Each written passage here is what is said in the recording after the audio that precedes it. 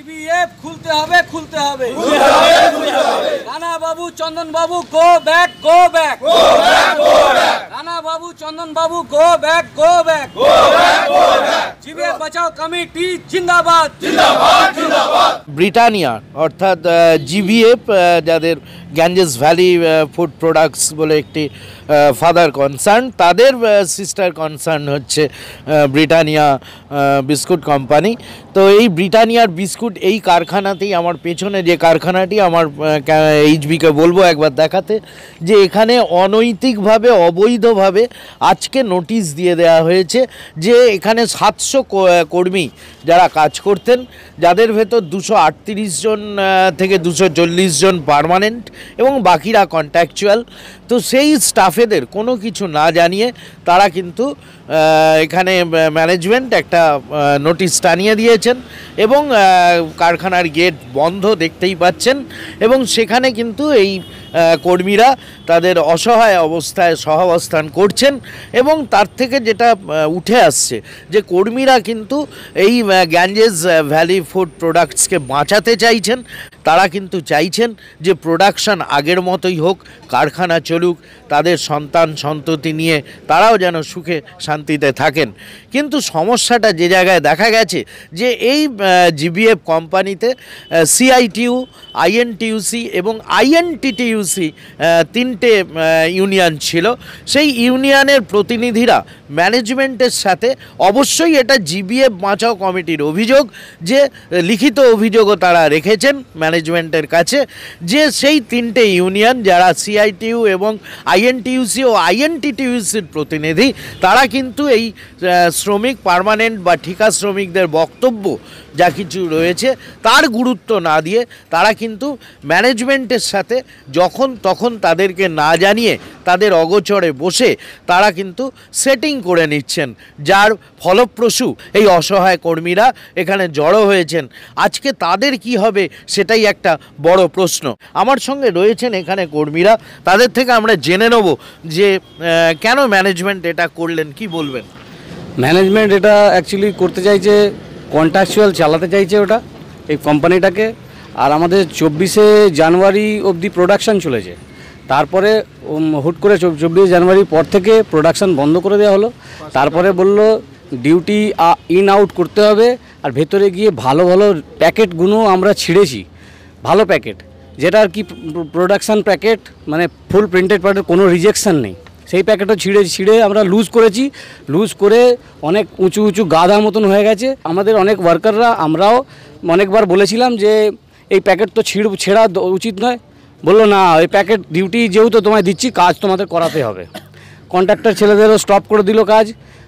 Contractor ছেলেরা অসহায় হয়ে গেল। আমাদের আজকে সকালে আমরা যখন, আমাদের আজকে অ্যাকচুয়ালি বিসিপ ডিউটি ছিল এসে দেখলাম যে তখন কটা, সাড়ে এগারোটার সময় আমি এসেছি, দেখলাম যে গেট বন্ধ। আমাদের ছেলেরা সব এখানে বসে আছে গেট গেটা লেখা আছে সাসপেনশন মানে অনিশ্চিত কালের জন্যে। ফ্যাক্টরির সাসপেনশন আর কয়েকজনের নামে ওয়ান ফোরটি ফোর অ্যাপ্লাই করা হয়েছে।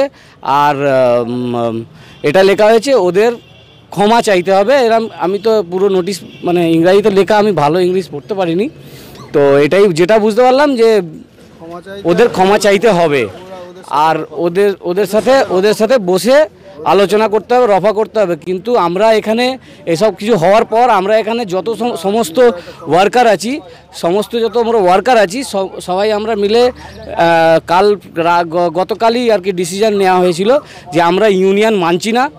সে টিএমসি ইউনিয়ন হোক সিআইটি হোক আর আইএনটি আইএনটি ইউসি হোক, আমরা কাউকে মানছি না, কোনো সভাপতি, কোনো সম্পাদককে আমরা মানবো না। আমরা সমস্ত ওয়ার্কার মিলে একটা কমিটি গঠন করা হবে। সেই কমিটি কমিটির সাথে ম্যানেজমেন্টকে বসতে হবে সেটাই আমাদের দাবি। এবার এর তার জন্যে আমরা সাংবাদিক মাধ্যমে এটাই চাই এটাই রিকোয়েস্ট যে আমাদের এই ব্যাপারটা মুখ্যমন্ত্রী দপ্তর অবধি যাক আর আমাদের বিচার করা হোক।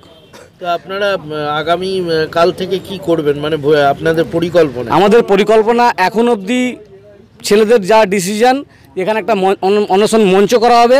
আমরা সব বাড়ি ঘর দর ছেড়ে এসে এখানেই থাকব এখানেই না খেয়ে না দিয়ে থাকব। আপনার নাম? আমার নাম হচ্ছে গুড্ডু ঠাকুর। আমি এখানে জিবিএফ এর একটা সাধারণ কর্মী। এখানে পেয়ে গেছি জেলা পরিষদের এক সদস্যা তিনি রয়েছেন। তার থেকে জেনে নেব যে কেন এমনটা হলো আর এর সমাধানই বাকি দেখুন এখানে যাদের উপর ভরসা করে এখানে যারা ইউনিয়নে ছিলেন নেতৃত্ব, তাদের উপর এই কর্মচারীগুলো ভরসা করেছিলেন এবং পরশু দিন গত পরশু দিন তিনটে ইউনিয়ন মিলে বসে তারা সিদ্ধান্ত নিয়ে নিয়েছেন এই লেবারগুলোকে স্বেচ্ছায় ভিআরএস দেবে। কিন্তু তারা একবারও এই কর্মচারীগুলোর সাথে আলোচনা না করেই তারা সই করেন। তৎক্ষণাৎ আমরা আম- ঘটনাটা জানতে পারি। এখানে লেবাররা আমাদের জানান, আমরা ডানকুনি প্রশাসনকে সঙ্গে সঙ্গে খবর দিই। প্রশাসন থেকে এসে ম্যানেজমেন্টের সেই যেটাই চিঠিটা লিখেছিলেন, তাতে যারা প্রেসিডেন্ট ছিলেন, তারা সই করেছিলেন।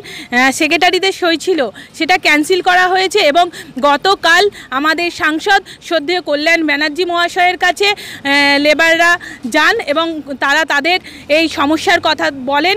তৎক্ষণাৎ আমাদের সাংসদ কল্যাণ ব্যানার্জি শ্রদ্ধেয় উত্তরপাড়ার চেয়ারম্যান দিলীপ যাদব মহাশয়কে দায়িত্ব দেন এবং লেবার মন্ত্রীর সাথে কথা বলার জন্য এবং ডিএলসি এসডিওর সাথে কথা বলে যেন ফ্যাক্টরিটা বন্ধ না হয়। লেবারদের সাথে যেটা করা দরকার আমাদের করতে হবে এবং আপনারা জানেন কিছুক্ষণে আগেই আমাদের দিলীপ যাদব মহাশয় এসেছিলেন এবং লেবারদের সাথে কথা বলেছেন। যেহেতু আজকে সব ছুটির ব্যাপার আছে, তার জন্য উনি বলেছেন কালকে দিন সময় নিয়েছেন এবং যেখানে যেখানে যাওয়ার আমরা যাব, কারণ আমরা মামাটি মানুষের সরকার। আমরা চাই ফ্যাক্টরি চালু রেখে তাদের অভাব অভিযোগ শোনা হোক এবং এই জিভিএফ কর্মী ভাইদের পাশে আমাদের সরকার আছে।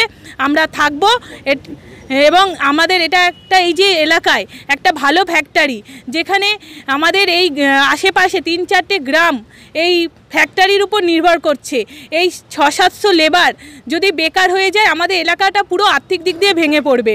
এটা আমরা কখনোই চাই না, আমাদের সরকারও চায় না। আমরা আশা করছি ওনাদের দাবি দাবা নিয়ে আমরা ম্যানেজমেন্টের সাথে বসবো এবং যথাযথ ব্যবস্থা নিতে তৎপর হবে আমাদের সরকার। আপনার নাম? টুম্পা মেটে হুগলি জেলা পরিষদ মেম্বার।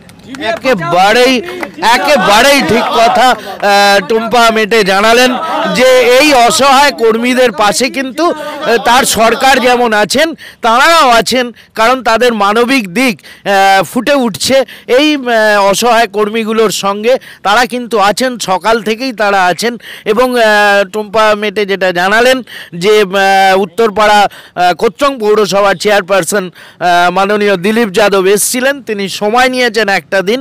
হয়তো এই দিলীপ বাবু একটা কোনো ব্যবস্থা করবেন এবং আবার এই কর্মীদের মুখে হাসি ফুটে উঠবে এবং তাদের সন্তান সন্ততি তারা আবার বিদ্যালয়ে পড়তে যাবে বা পরিবার দুমুঠো খেয়ে বেঁচে থাকতে পারবে। সেই আশায় কিন্তু কর্মীরা যেমন একদিকে রয়েছেন, তেমন রয়েছেন শাসক দলের কর্মীরা।